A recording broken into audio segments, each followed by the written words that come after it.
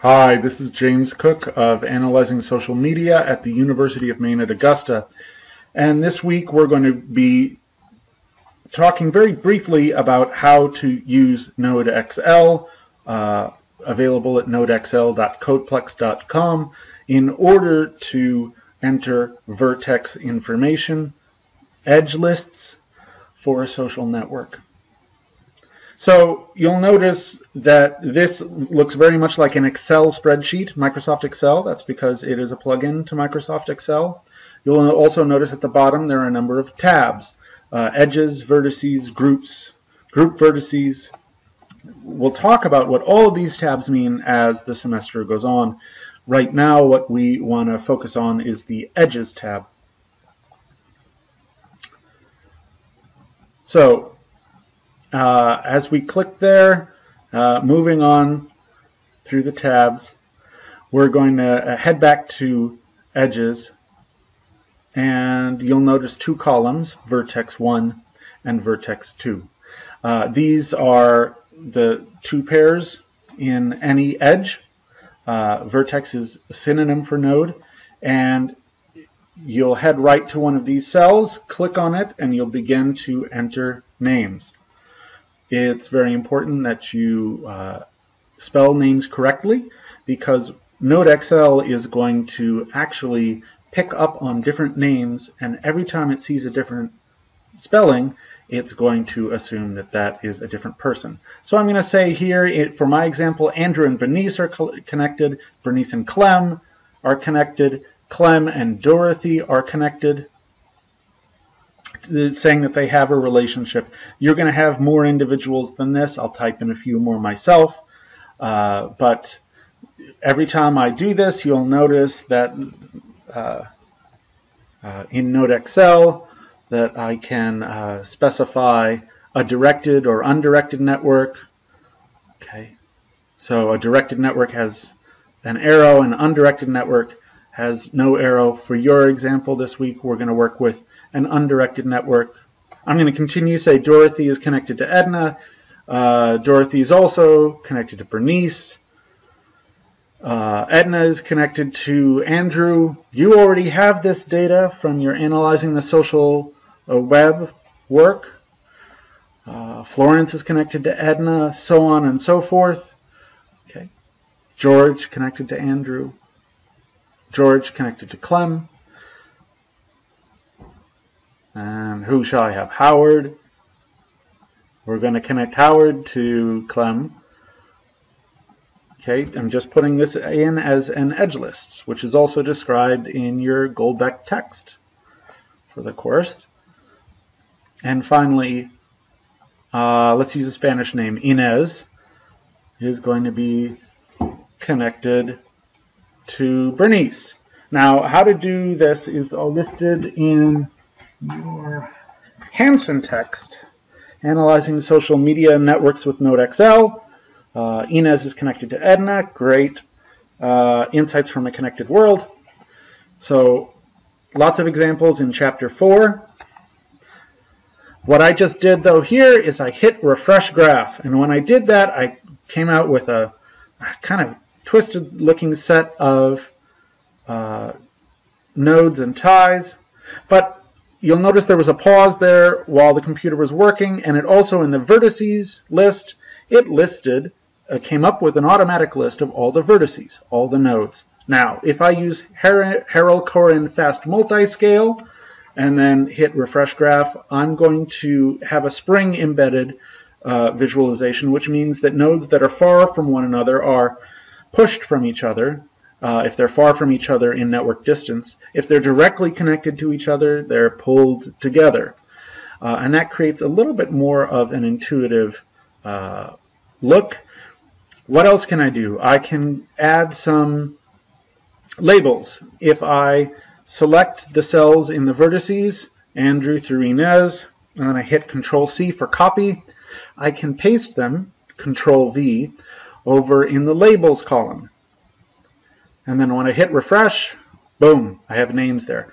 What else can I do? I can left click on any node and then hold that left click button down and drag it around to move any node. I can move Inez around then, and I can select a different node. I could select Andrew. Let's select Andrew and move Andrew up and around. This is great. It helps me move uh, certain uh, nodes around so that the network makes sense to me. What else can I do? I can increase the node size. I look up at the top and by hovering over size, I see I can select an optional vertex size between 1 and 1,000. I'll enter 30. Let's see what happens with 30. I'll enter that for each of the nodes. I could enter different sizes for different nodes. And now I have larger nodes, I, and they're perhaps more noticeable. Uh, what else can I do? I could select Andrew and Edna by left-clicking on the graph and then dragging over until I select both nodes. I let go, and now they're in red. They're selected. If I hit the lock, that holds those two vertices, those two nodes in place. Then when I hit refresh, Andrew and Edna are always going to stay in the same place, while all the other nodes, the other vertices, move around. That's handy if I decide Andrew and Edna are really in the right place. If I decide I want to move them again, I can hit that key icon to unlock those vertices, and now they'll move again. Great.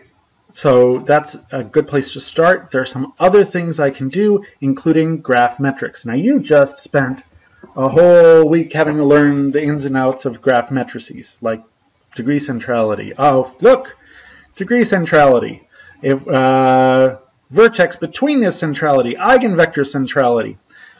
You can calculate these by hitting the graph metrics button under the Node NodeXL tab on the top. Okay. You can look uh, there's automatically generated text every time you select one of these options. It includes a Wikipedia article which describes the measure, uh, and, and it will give you a little bit more of a quote there. Great, but you can then go down to the bottom when you're ready and you can click the Calculate Metrics button. And automatically, NodeXL will calculate these uh, quantities for you. Uh, they include graph density. How full is a network of ties? Well, we have a graph density of 0.361. That means, uh, not even roughly speaking, exactly speaking, that this network is 36.1% full of ties. Uh, there's about 64% more ties that could be fit in there. Uh, we know that the average geodesic distance is 1.604. That means on average, the shortest path between two nodes is of length 1.6. The maximum shortest path between any two nodes is 3. Uh, between Howard, Clem, and Bernice. And on to Florence. Howard to Clem is 1, Clem to Bernice is 2, Bernice to Florence is 3. Howard to Clem is 1, Clem to George is 2, uh, George to Andrew is 3, uh, Howard, Clem, Dorothy, Edna that's four nodes, but three intervening ties. Uh, maximum geodesic distance, shortest path. The maximum shortest path is three. Lovely. Oh, now when I hit the vertices tab, look what appears. New columns which include some network statistics. Here we have information about the degree. We know Bernice's degree is 5. Clem's degree is 4. Howard's degree is only 1.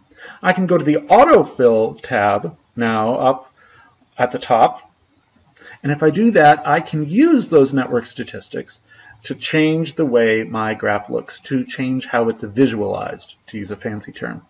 Uh, I could do that with, through edge statistics, vertex, ver, vertices statistics, group statistics. We'll get to those later. Let's just look at vertices. I could change color, shape, size, opacity. That is how uh, transparent it is. But today, let's look at size. And I'll select degree as the determinant of how big a vertex is. I'll select degree and then I'll click options over to the right, that arrow, and I'll look at options. So I want to start from the smallest number in the column to the largest number in the column, the column of, of degree, and I'll map it to vertex, vertex sizes between 1.5 and, oh, let's say 20. Then I'll click autofill and look at that network over on the right, that network graph. All of a sudden I've found Howard, who has the lowest degree, has the smallest.